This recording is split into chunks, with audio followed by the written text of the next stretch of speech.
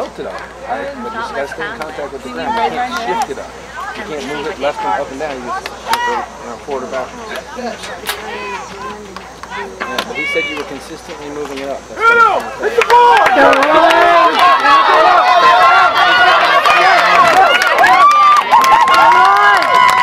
Flag, flag, flag, two flags. Two flags. Downfield box.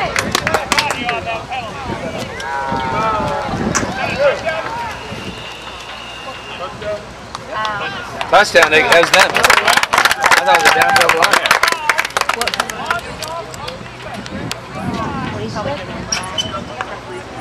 Oh, pitch.